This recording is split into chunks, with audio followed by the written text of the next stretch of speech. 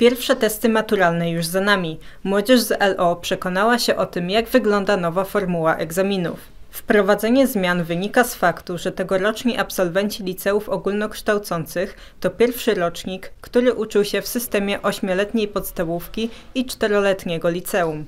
Wydaje mi się, że i polski i angielski były dość proste, przynajmniej dla mnie. W porównaniu z y, arkuszami z poprzednich lat, tak jak patrzyłem y, ucząc się, nie wydawało się to jakoś bardziej trudne, dlatego nie miałem problemu i czuję się dość pewnie. Angielski, który skończyłem przed chwilą, był całkiem prosty, przynajmniej dla mnie. To nie jest jakiś bardzo stresujący egzamin. Gorzej z polskim, ale, ale wydaje mi się, że mam spokojnie zdany. Wynik raczej też będzie satysfakcjonujący, więc póki co się nie martwię. Pomimo tak dużych zmian w arkuszach egzaminacyjnych, maturzyści dobrze się przygotowali. Jakie dokładnie różnice napotkali na testach absolwenci LO?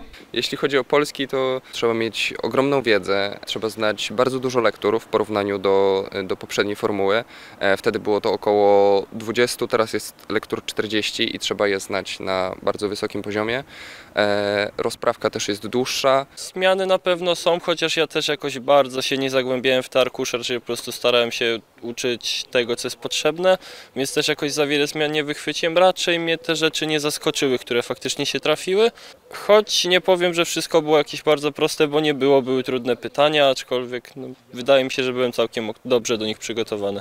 Po trzyletniej przerwie do podstawy maturalnej wracają również egzaminy ustne.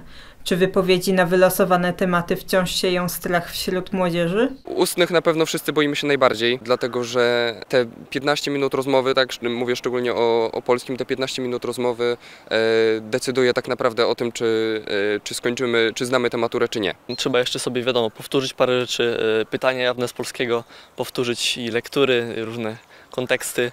Z angielskiego raczej y, nie, ma, nie będzie większego problemu, o to się akurat nie martwię. Życzymy powodzenia na pozostałych egzaminach i mamy nadzieję, że wyniki ze wszystkich będą jak najlepsze.